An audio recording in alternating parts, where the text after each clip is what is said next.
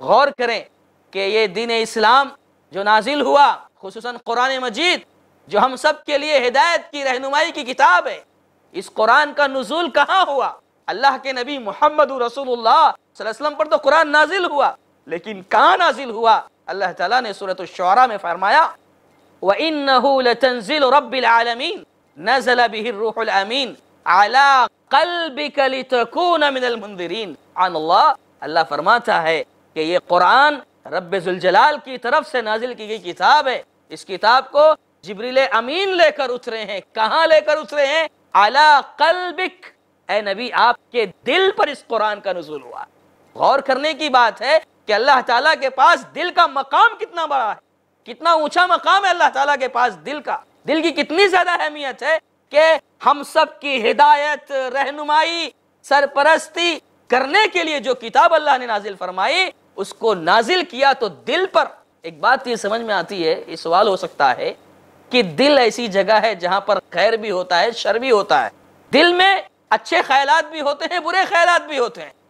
تو قرآن مجید کا نزول دل پر ہوتا ہے۔ اللہ کے نبی صلی اللہ علیہ وسلم کے دل پر جب قرآن کا نزول ہوا تو بہت سارے لوگ یہ اعتراض بھی کر سکتے ہیں کہ دل ایک ایسی جگہ ہے جہاں پر شر بھی ہوتا ہے۔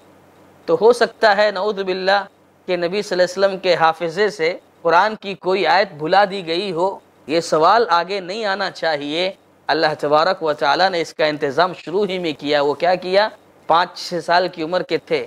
اللہ کے نبی صلی اللہ علیہ وسلم فرشتے آئے، آپ کو پکڑا، آپ کے سینے کو چاک کیا، آپ کے سینے کا آپریشن کیا، آپ کے دل کو نکالا۔ اور مسلم شریف کی روایت ہے کہ آپ کے دل میں شیطان کے وسوسے کا جو حصہ تھا اسے نکال کر باہر کیا اور دوبارہ آپ کے دل کو آپ کے سینے میں محفوظ کر دیا۔ یعنی بچپن ہی سے آپ کا دل سراپا خیر ہی خیر والا ہو گیا۔ وہاں پر شر نام کی گنجائش باقی نہیں رہی۔ شیطان کے وسوسے کا حصہ وہاں موجود نہیں رہا۔ کیوں؟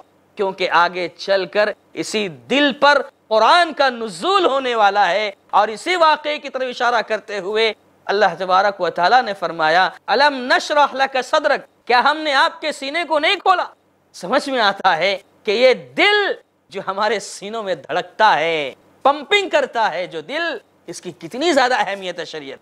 اللہ تعالیٰ کے پاس کتنا بڑا مقام ہے اس دل کا۔ مگر افسوس کہ آج ہم اور آپ اس دل کے بارے میں ذرہ برابر غور نہیں کرتے۔